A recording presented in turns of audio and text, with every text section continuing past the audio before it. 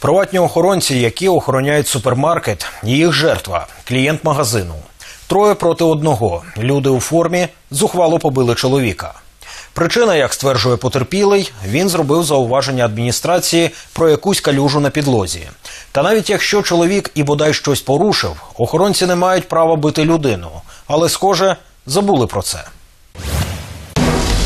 За даними компанії Кантар TNS в Україні, ця надзвичайна подія привернула найбільшу увагу в інтернеті.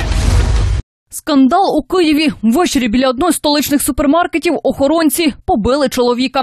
Одному із свідків вдалося зняти частину сутички на відео. Із перших кадрів помітно, як працівники приватної охоронної фірми накинулись на покупця. За нього спробувала вступитися певно його знайома, але охоронець супермаркету відвів чоловіка подалі. А там приватники втрьох взялися гамселити людину. Били і кулаками, і ногами, і навіть киями. А це вже вважається спецзасіб, який дозволяється використовувати за виняткових обставин.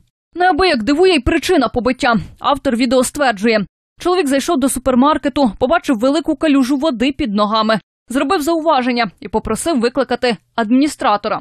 Та замість цього працівники викликали охорону. Відео побиття швидко поширилось в інтернет-мережі. Його переглянули понад 20 тисяч людей. Близько двох сотень лишили коментарі. Обуренню користувачів не було меж. Не имеет значения, что сделал мужик. Охранники никто не имеет никаких полномочий. В незалежності, що зробив той чоловік, затримай його і очікуй патрульну поліцію, і хай у подальшому приймають рішення.